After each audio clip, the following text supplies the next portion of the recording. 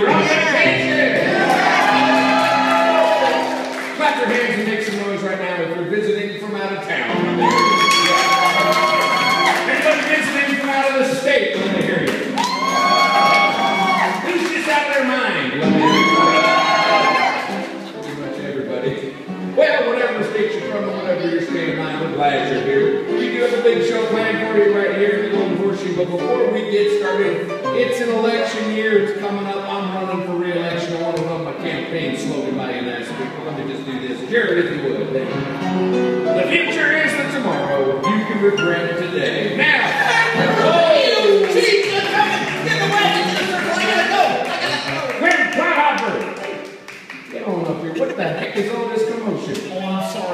didn't mean to interrupt you, but it's your daughter, Sally McGillicuddy. What about her? She's got some crazy idea in her head that I'm going to marry her. Yeah. And where would she get a notion like that? Yeah, what, you? Me, yeah. Wait. Back it up. Gwen, I ain't going to marry your daughter. you're the only single fella in town. She's sweet on me. You gotta marry her. Oh, come on, Sam. I just don't want to do it. Give me one good reason why you wouldn't marry my daughter Saturday night. I've seen her. Hey! Now, wait a minute. That came out wrong, all right? Now, I'm going to that his daughter, Sally Mae, she went down that haunted mansion. She didn't come out scared. She came out with a job. That's peak season for Halloween. I know, I know Halloween's tomorrow. She can go trick or treating tonight. Hey! She scared a hungry dog off a meat wagon. happened one time. Look, folks, I'll admit my, my daughter, she's not the prettiest knife in the drawer, but that ain't you judge. All right? My daughter is beautiful where it counts, Clem, she's beautiful on the inside. Well, you should flip her inside out. Hey! You were talking about my treasure. I know she's a treasure. I brought her over to the pirates. They married her. I hope they don't make a match. You're marrying that girl, and that's it, and that's fine. Oh, hold on, hold on. I got an idea. What? What if we were to find ourselves a fella, point your lay eyes on Sally Mae, and we got him to marry her? Have a contest. Yeah. Winner marry Sally night. That's great! Except there's one problem. You're the only single fella in town. It's not like you got a room full of fellas just out here eating lunch. Oh. Maybe we do. Ladies, offer up the men you don't want anymore. We're having us a contest. Oh, we need a big, strong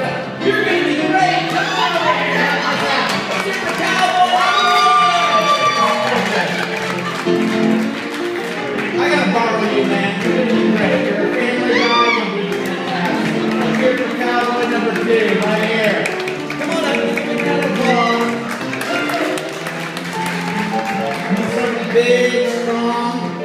Ring. Get on up here, help us out. Super cowboy number three. I'm sorry, sir. This is your first visit. This will be one to remember. I'll tell you that. Hey, let's get over to these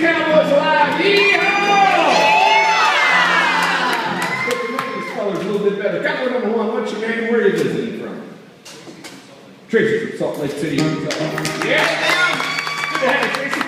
Cowboy two, what's your name and where are you visiting from? I'm Jim from Fairfield. Jim's from Fairfield. We got Tracy, we got Jim, and then down here on the end, what's your name and where are you from? Uh, Bobby from Kalamazoo, Michigan. Bobby's from Kalamazoo, Michigan. Hey, man. Hey, man. I'm betting on Cowboy one and three. That way we get her out of the state. Okay. Look, let me just bring her on out here. We've met the fellas. Whoa, whoa, whoa, whoa! Are you bringing out Sally Mae? Heck yes, I'm bringing out Sally Mae. Well, maybe we should blindfold these fellas first. Blindfold them. We're just bringing my daughter out here. Oh, you're right. We should shackle them too. No, no, no, no. Just blindfold them. You got to do anything. Actually, fellas, pop them glasses off. That way, if the uh, blindfold fails, it won't burn as much. Frenchie's the three-time goat milking champion frontier band. The pride of the Ponderosa. The very fruit of my loins. Why, last year, she my wife and so proud when she played the lead in the town pageant. She was old yellow, foam fell out right on cue every. When she was born, I asked the doctor, is it a boy or a girl? He said no. Friends, even with all them accolades, she's still a tiny bit shy. So we will need all of you. Hooping and hollering that comes around whatever hole she might be hiding in. So let's welcome my daughter, Sally Mae.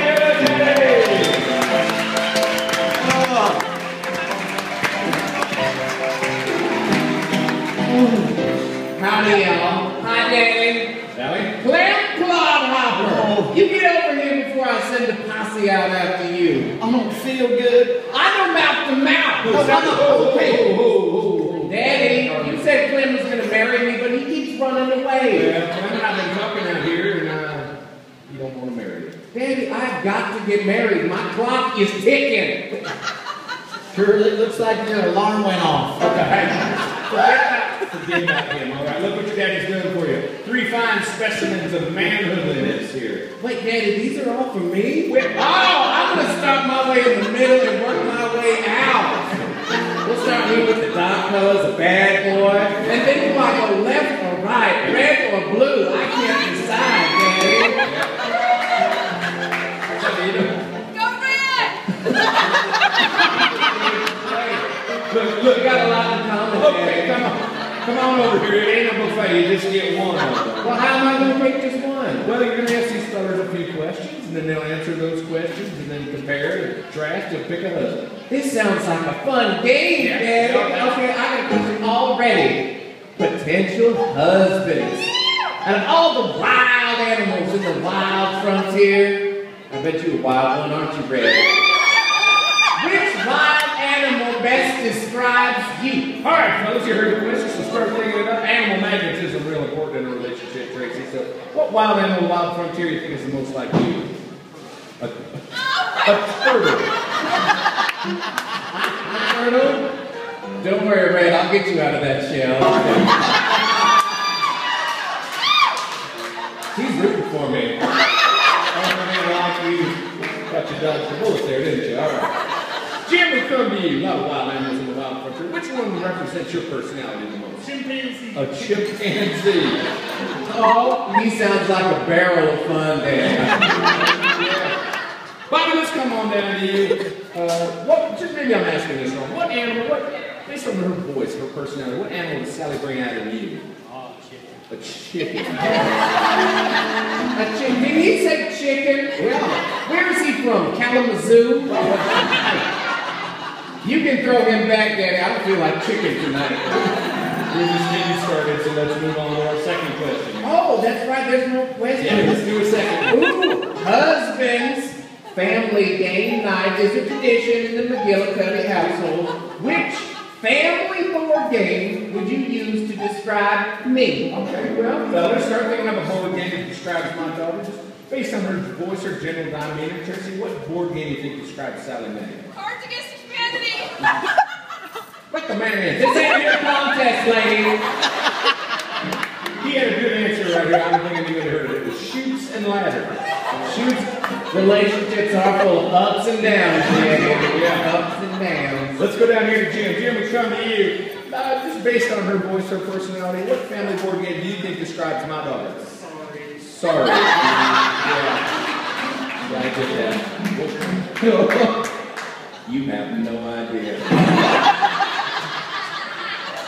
Probably we come to you. You've heard her voice. You've, you've got a little uh, picture of her personality. What what board game do you think describes Sally Mae? Uh, battleship. Battle.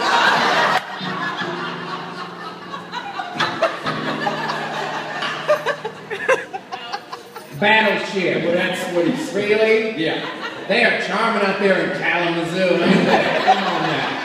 Oh, Daddy, I'm about to sink that chicken boat. Turn that chicken extra crispy. We're not gonna. You can't do that. It's the happiest place on earth. It would make me happy to turn that chicken into nuggets. We're going to move on to our third and final question here. Let's just. Oh, and that's right. We got one more. This is a romantic question. Husbands, imagine we're on a romantic honeymoon cruise on the Mark Twain riverboat. What romantic song will you sing to me? Oh, fellas, we're picking up a song, uh, the title of a romantic song. We don't need you to sing it, we just need the title. Tracy, let me paint the picture a little bit for you here. There you are, you're on the Mark Twain riverboat, not to be confused with the Mark Twain chicken boat. moonlight's glistening off the water as you stare deeply into Sally's one good eye. Tracy, what romantic song would you sing to win her heart? Oh, come on now, there's tons of music around here. The first song pops in your head. Theme park full of music. Jingle bells. He's already got the holiday spirit. We got two in front of that one, and he's still in the jingle. Well, that's, yeah, you know what? It took him some time, Daddy. Just wait for Christmas, okay? Yes. Let's go to Jim. Jim, come in. There you are. Your big burly manly arms are wrapped around her big burly manly arms. Jim, what song of love do you sing to her? Can't touch this. You can't touch it. That sounds like a challenge, Daddy.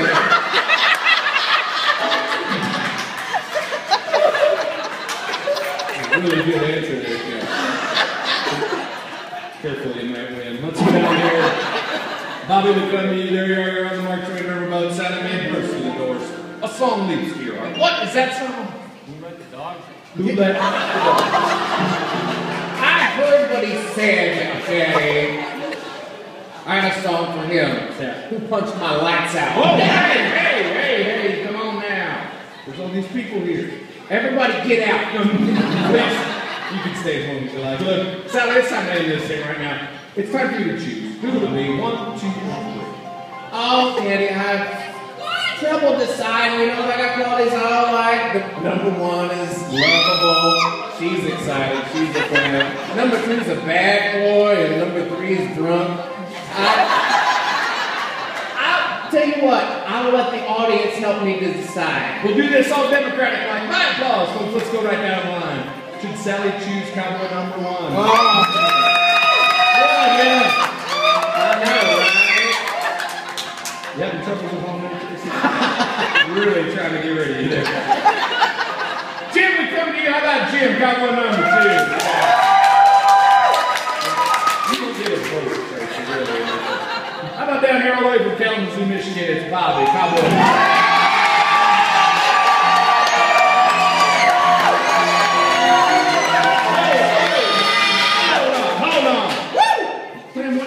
Doing here? I want applesauce for my chicken boat. you don't have either one. What? Oh. Sally, you heard their decision, but the final decision is yours. Two. Daddy, I want so much for the people to like me. I will go with bachelor number three. Sally, you just made two men very happy. Let's meet them right now. Cowboy number one comes to us all the way from Salt Lake City, Utah. But it wasn't meant to be, so uh, Tracy, to turn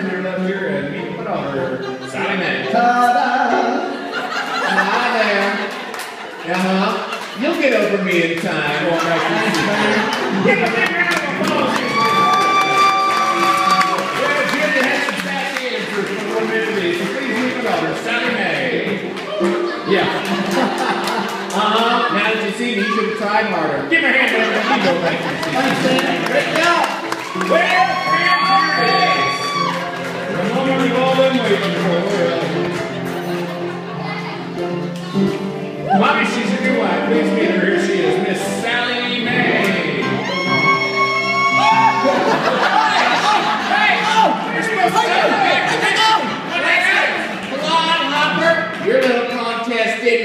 just you and me now tonight, girl. Show those Oh, Debbie, look over here. I think I found bachelor number four. How did that, Farmer? He's a sports fan. He's an athlete. I think he's with this lady right over here. I can take her. Get her! Get up here right now. Clem I should have done this from the start. You're marrying Sally Mae. That's it, and that's fine. Why, just because you're the mayor, you say so? I'm the mayor here now. Well, in that case, I can pot hopper. I'm going to run for mayor. Who's with me? Ah!